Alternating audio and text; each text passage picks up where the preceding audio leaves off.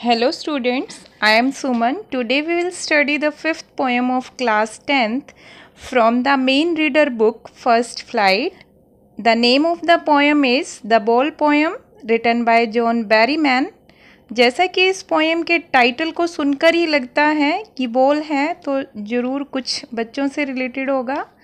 इस पोएम में John Berryman ने छोटे बच्चे और बोल के एग्ज़ाम्पल से ज़िंदगी की गहरी सीख देने की कोशिश की है। यहाँ एक छोटा बच्चा है जो अपनी बॉल से खेल रहा है और खेल खेल में उसकी बॉल कहीं पानी में गिर जाती है और अपनी बॉल के खो जाने से वह बच्चा बहुत दुखी है। यहाँ पोएट उसे यह समझाने की कोशिश करते हैं कि बोल के खो जाने से इतना दुखी ना हो, क्योंकि gain and loss is a part of life ये तो शुरुआत है जीवन में बहुत सी हमारी फेवरेट चीज़ें और इंसान हमारे से दूर हो जाते हैं और हमें उनके बिना रहने की आदत डालनी पड़ती है। अभी छोटे बच्चे के लिए तो एक बोल या फिर कहें कि उसका कोई भी टॉय खो जाना ही उसके लिए बहुत बड़ा दुख है, क्योंकि बच्चे के लिए तो अपना खिलौना या अपनी बॉल ये सब कुछ है। पोएट उस बच्चे को ये समझाने की कोशिश करते हैं कि बॉल के खो जाने से वो बच्चा धीरे धीरे करके खो जाने के दुख को बियर करना सीख जाएगा, ताकि ज़िंदगी में उसे फिर कभी भी खो जाने का दुख ज़्यादा परेशान ना करे। तो इसी कंसर्न के साथ चलिए शुरू करते हैं ये poem what is the boy now who has lost his ball what what is he to do I saw it go merrily bouncing down the street and then merrily over there it is in the water एक बार यहीं तक देखिए. इसके word meaning देख लीजिए पहले. Merrily happily bouncing jumping first line में ही पोइट कहते हैं कि बच्चा अब क्या करेगा?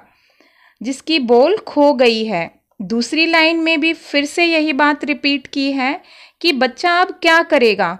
पोइट इस बात को रिपीट करके यही समझाना चाहते हैं कि एक बच्चा अपनी बॉल से खेल रहा है और उसकी बॉल खो जाए तो वह बहुत दुखी हो जाता है। हेल्पलेस हो जाता है कि अब क्या करेगा, कैसे अपनी बोल को वापस लाएगा, उस बच्चे की नज़रों के सामने ही उसकी बोल उससे दूर चली गई, गुम हो गई। उसने उसे जाते हुए देखा भी कि बोल तो मैरीली बाउंसिंग मीन्स खुशी खुशी उछलते हुए, बच्चा जिस गली में खेल रहा था, उसमें नीचे जाते हुए जाकर पानी में गिर जाती है। अब बच्चा जिस चीज़ से खेल रहा है, वो टूट जाए, गुम हो जाए, या फिर उससे, उसकी वो चीज़ कोई छीन ले तो नेचुरली उसको बहुत बहुत दुख होता है। बच्चा रोने लगता है, उसको चुप करवा पाना बहुत मुश्किल होता है, क्योंकि ये उस बच्चे का पहला लॉस है, जिसको बियर कर पाना, सहन कर पाना, उसके लिए बहुत मुश्किल है। नेक्स्ट लाइन में पॉइंट यही कहते हैं no use to say O there are other balls and ultimate shaking grief fixes the boy as he stands rigid trembling staring down all his young days into the harbor where his ball went. पहले देखते हैं यहाँ तक के word meanings ultimate final अंतिम grief sorrow दुख, rigid, hard, कठोर, trembling, shaking, कांपना, हार्बर, पोर्ट, बंदरगाह। नो यूज़ टू से यहाँ पोइट कहते हैं कि उस बच्चे को ये समझा पाना कि उस बोल के अलावा भी तो बहुत सारी बोल्स हैं, बहुत मुश्किल होता है ये आपने देखा होगा कि बच्चा जिस खिलौने से खेल रहा है, वो खो जाए या टूट जाए तो आप उसको चाहे कोई भी और खिलौना दे दो, वो बिल्कुल भी नहीं मानेगा। वो बार बार अपना वही खिलौना लेने की ज़िद करता रहेगा, रोता रहेगा। इसी तरह यहाँ भी जो बच्चा है, वो इतना ज़्यादा दुखी है कि वो दुख से काँप रहा है। मीन्स उसे अल्टीमेट दुख है मैक्सिमम दुख है, जितना दुखी वो हो सकता है, जिसका कोई अंत ही नहीं है। उस बच्चे को उस वक्त कुछ भी कह के शांत करवा पाना पॉसिबल नहीं है। वो अपने दुख में ही काँप रहा है। फिक्सेस द बॉय यानी वो दुख उसके अंदर फिक्स हो गया है। वो उससे बाहर ही नहीं आ पा रहा है। बस अपने दुख में, अपनी बोल को घूर रहा है। उस बच्चे को लगता है कि वो सिर्फ़ एक बोल ही नहीं, बल्कि उससे जुड़ी हुई सभी यादें भी जैसे उस बोल के साथ हार्बर में चली गई हैं। हार्बर हार्बर का क्या मतलब होता है? वो जगह जहाँ पानी ज़्यादा गहरा नहीं होता, यानी कि पानी का जो किनारा होता है। तो इस टेंजा में पोइट यही कहते हैं कि उस बच्चे को उस वक्त कुछ भी समझाने का कोई फ़ायदा नहीं है। कि कोई बात नहीं, आपको और बोल दिलवा देंगे, इससे भी अच्छी बोल दिलवाएँगे। लेकिन बच्चा उस वक्त इतना ज़्यादा दुखी होता है कि वो कुछ भी नहीं समझ पाता, क्योंकि उस बोल के साथ उसकी बहुत सी यादें जुड़ी हुई हैं। वो उसे किसने दिलाई थी, वो कैसे उससे खेलता था, अब उसे लगता है कि उस बोल के साथ साथ उसकी वो सब यादें भी उससे दूर हो गई हैं। I would not intrude on him a dime. Another bowl is worthless. Now he senses first responsibility. In a world of possessions, people will take bowls. Bowls will be lost always, little boy. पहले देखते हैं यहाँ तक के word meaning interviewed interfere dime dime का मतलब है ten cents ये यूनाइटेड स्टेट्स ऑफ़ अमेरिका की करेंसी है, जैसे हमारे यहाँ पैसा होता है, वहाँ सेंट्स होते हैं और टेन सेंट्स एक डाइम के बराबर होते हैं। वर्थलेस यूजलेस बेकार, इस लाइन में पॉइंट कहते हैं कि जब वो बच्चा अपनी बोल के खो जाने से दुखी है तो मैं उसे जाकर इंटरव्यूड नहीं करूँगा इंटरफियर नहीं करूँगा, दखल नहीं दूँगा। क्योंकि मैं चाहता हूँ कि वो खो जाने के दर्द को महसूस करे और अपनी वस्तुओं और अपने रिलेशंस की वैल्यू को समझकर उन्हें संभालना और इम्पोर्टेंस देना सीख जाए। क्योंकि जो भी वस्तु हमसे खो जाती है या जो इंसान हमारे रिलेटिव्स या फ्रेंड्स हमारी किसी गलती की वजह से हमसे दूर हो जाते हैं, वो फिर कभी भी वापस नहीं आते। क्योंकि आज बोल के खो जाने से उसने पहली बार खोने के दुख को महसूस किया है। उसे ये समझाना कि कोई नहीं, बोल तो एक सस्ती सी चीज़ है, जो टेन सेंट्स में, यानी थोड़े से पैसे में ही आप नहीं खरीद सकते हैं। वर्थलेस है, बेकार है, क्योंकि पैसे की कोई वैल्यू नहीं होती है। जैसे आप जब स्कूल जाते हैं और वहाँ जाके आपको जब एक पेन की ज़रूरत पड़ती है, उस वक्त आपकी पॉकेट में चाहे कितने ही पैसे क्यों ना हो, आपकी पेन की कमी को पूरा नहीं कर सकते। बेशक एक पेन पाँच रुपये में आ जाता है, लेकिन उस वक्त उस पेन की वैल्यू आपके लिए हज़ारों रुपयों से भी ज़्यादा है। उस वक्त आपको अपनी पहली रिस्पॉन्सिबिलिटी का एहसास होता है कि मुझे अपनी चीज़ों को संभाल कर रखना चाहिए, अपने स्कूल बैग को प्रॉपरली पैक करना चाहिए ताकि आपको किसी छोटी सी चीज़ के लिए भी स्कूल में जाके परेशानी ना हो। उसी तरह से बच्चे को भी बोल के खो जाने से अपनी फ़र्स्ट रिस्पॉन्सिबिलिटी का एहसास होगा। In a world of possessions people will take balls balls will be lost always little boy in a world of possessions का मतलब है कि ये जो संसार है, इसमें रहते हुए हम बहुत सारी चीज़ें पोजेस करते हैं ऑन करते हैं, जैसे आपकी बुक्स बैग साइकिल और फिर बड़े होने के बाद और भी बड़ी चीज़ें जैसे कार, घर, और और भी बहुत कुछ। और फिर अगर आपने अपनी बिलोंगिंग्स को, अपनी वस्तुओं को संभाल कर नहीं रखा, आप रिस्पॉन्सिबल नहीं बने तो पीपल विल टेक बॉल्स यहाँ ये बॉल्स हमारी उन सभी चीज़ों, वस्तुओं मटेरियल थिंग्स का सिंबल है, प्रतीक है, जो या तो हमारी इरिस्पॉन्सिबिलिटी या गलती की वजह से हमसे खो जाएँगी या गुम हो जाएँगी, या फिर लोग हमसे छीन लेंगे। इसलिए तुम दुखी मत होवो, बल्कि रिस्पॉन्सिबल बनो, अपनी बिलोंगिंग्स को, वस्तुओं को संभाल कर रखो और ये केवल मटेरियल थिंग्स के लिए ही नहीं है। हमें अपने आपसी रिश्तों में, चाहे वो अपने माँ बाप से हों या भाई बहन से या दोस्तों से, वहाँ भी हमें अपनी रिस्पॉन्सिबिलिटीज़ को समझना चाहिए और समझदारी से अपने रिश्तों को निभाना चाहिए। नहीं तो धीरे धीरे करके वो हमसे दूर हो जाएँगे। And no one buys a ball back money is external he is learning well behind his desperate eyes the epistemology of loss how to stand up knowing what every man must one day know and most know many days how to stand up meaning देख लीजिए पहले external of the outside बाहरी desperate hopeless निराश epistemology nature of knowledge ज्ञान का विज्ञान। इस line में पॉइंट कहते हैं कि अगर पैसों के टर्म्स में देखें तो बॉल की वैल्यू कुछ भी नहीं है। बॉल तो एक सस्ती सी वस्तु है। तो पोइट कहते हैं कि यहाँ पर पैसों की बात नहीं हो रही है। पैसा तो एक एक्सटर्नल चीज़ है, बाह्य चीज़ है।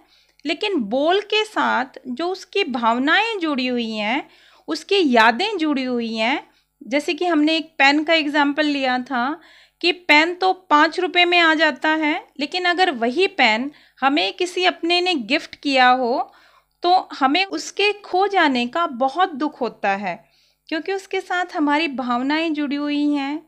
तो पैसा तो एक एक्सटर्नल चीज़ है। अगर वही पाँच रुपये गुम हो जाएँ तो हमें इतना दुख नहीं होगा जितना कि उस गिफ्टेड पेन के खो जाने का दुख है। पोइट कहते हैं कि उस लड़के की आँखें डेस्पेरेट हैं होपलेस हैं, क्योंकि उसे ये समझ आ गया है कि उसकी बोल वापस नहीं आएगी और साथ साथ उसका जो दिमाग है, वो एपेस्टोमोलॉजी ऑफ़ लॉस यानी कि नुकसान का जो ज्ञान है, उसको भी समझ गया है कि जो चीज़ एक बार खो जाती है, वो वापस नहीं आती है और वो ये सीख रहा है कि खो जाने के दुख से कैसे बाहर आना है, कैसे अपनी नॉर्मल लाइफ को जीने के लिए दोबारा खड़ा होना है। क्योंकि ऐसा कोई भी नहीं है जिसने अपनी कोई चीज़ कभी भी ना खोई हो। कभी कभी हम अपनी चीज़ें अपने आप कहीं भूल जाते हैं या कोई हमसे ले लेता है और इस तरह से चीज़ें गुम हो जाती हैं। इसलिए पॉइंट कहते हैं कि हर एक इंसान एक दिन सीख जाता है कि कैसे अपने लॉस को सहन करना है और नुकसान से ऊपर उठना है और अपनी लाइफ को आगे बढ़ाना है। अगर हम एक चीज़ के खो जाने पर ही रोते रहेंगे, उदास रहेंगे तो आगे कैसे बढ़ पाएँगे?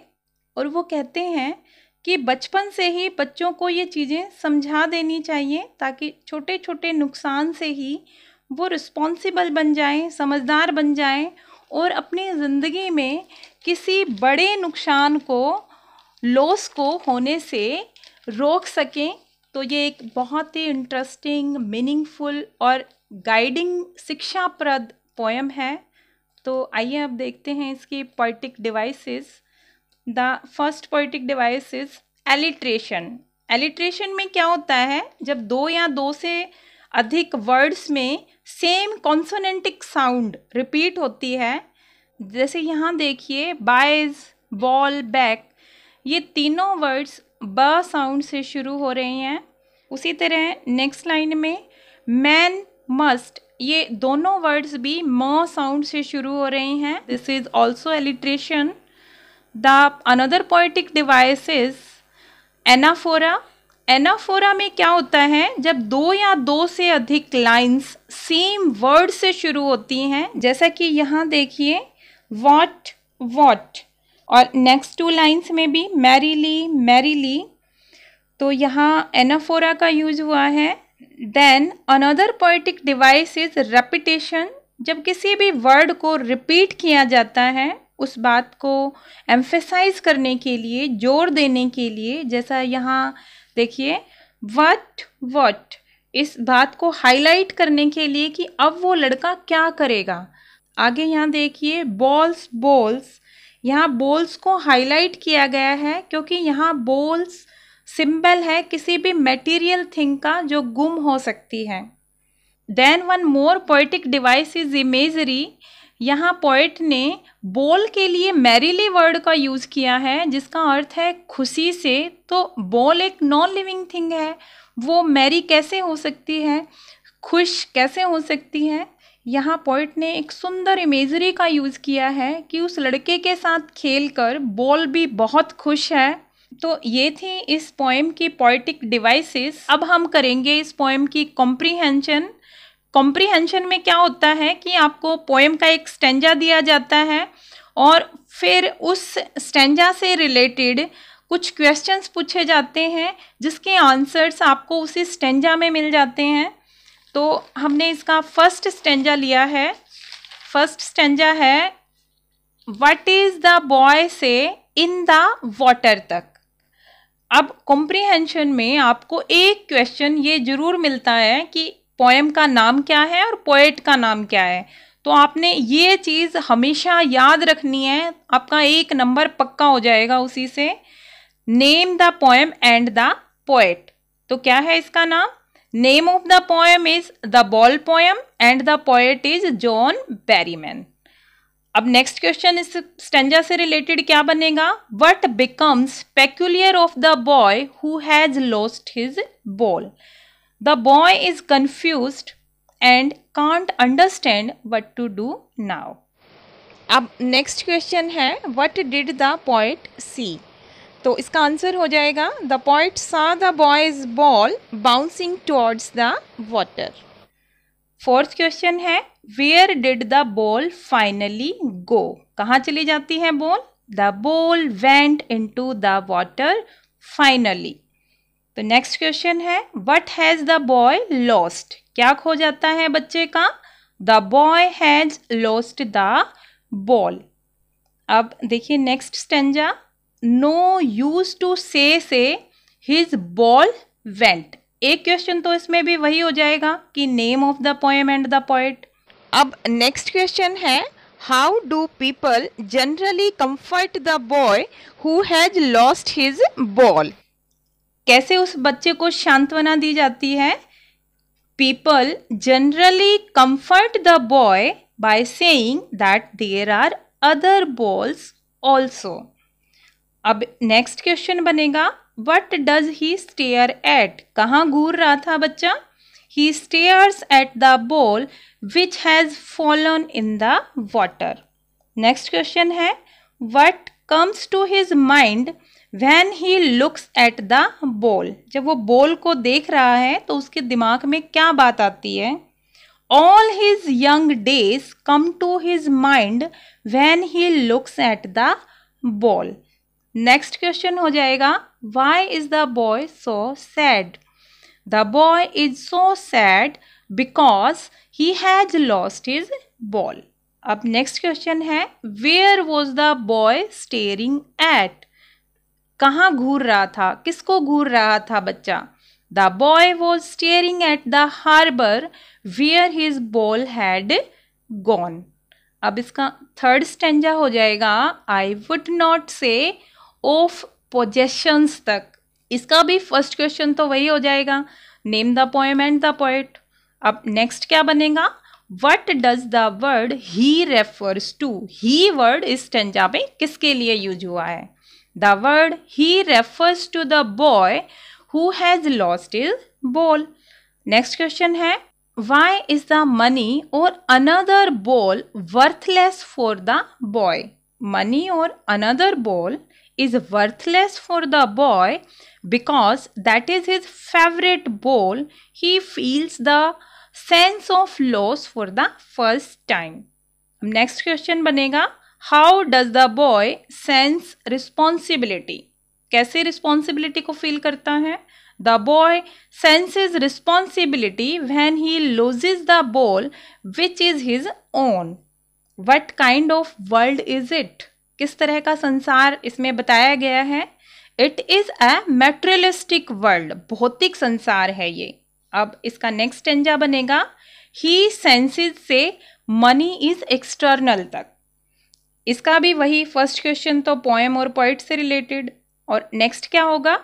हु सेंसेज फ़र्स्ट रिस्पॉन्सिबिलिटी किसको अपनी पहली रिस्पॉन्सिबिलिटी का एहसास होता है? The boy who has lost the ball senses first responsibility next question बनेगा what does world of possessions mean world of possessions means the world of materialistic things अब next question इसका हो जाएगा what does the poet mean by money is external money is external से क्या मतलब है कवि का the poet means that money is external thing it can't buy our feelings और नेक्स्ट क्वेश्चन है what does the poet mean by saying balls will be lost always. The poet means to say that losses and gains are part of life. और next stanza इसका होगा he is learning से how to stand up तक। How are the boy's eyes कैसी हैं लड़के की आँखें? The boy's eyes are desperate next question है वाई और द बॉयज़ आइज़ डेस्पेरेट अब वो डेस्पेरेट क्यों हैं? The boy's eyes are desperate because he has lost his ball. और नेक्स्ट क्वेश्चन होगा what is the boy learning क्या सीख रहा है बच्चा? The boy is learning the meaning of loss अब नेक्स्ट क्वेश्चन है what is the boy going to know बच्चा क्या जानने जा रहा है?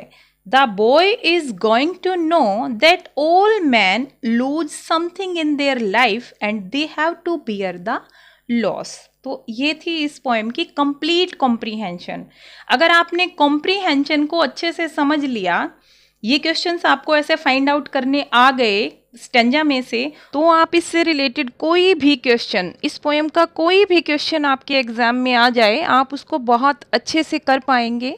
और इसी के साथ मैं आपको करवाऊँगी इसका, आप थीम कह लीजिए मैसेज कह लीजिए, या समरी और central idea of the poem तो कॉम्प्रीहेंशन प्लस ये समरी अगर आपने कर ली तो कोई भी ऐसा क्वेश्चन नहीं बचेगा जो इस पोएम का आप अटैम्प्ट नहीं कर पाएँगे।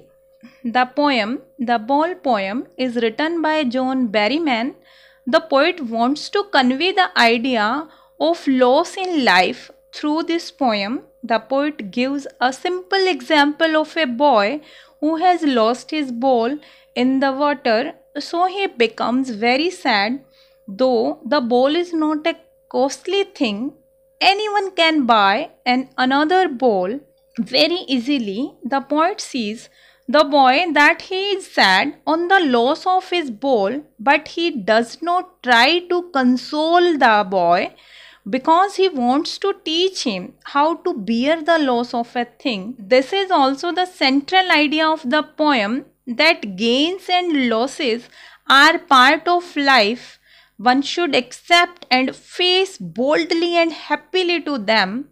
When we lose something for the first time, we feel very sad, but later we learn to bear them normally. So, this is the central idea of the poem that man should learn and accept the bitter truth that losses are part of life that can be of a small thing or a favorite human being.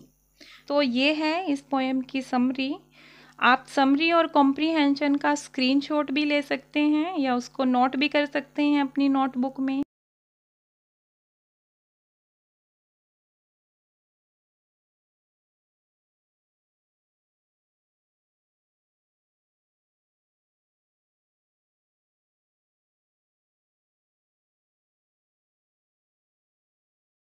ये complete poem है। अगर आपको इसी तरह की और educational videos देखनी है तो आप मेरे चैनल पीवी मल्टीपल लर्निंग को सब्सक्राइब कर दें, अगर आपने पहले नहीं किया है। Thank you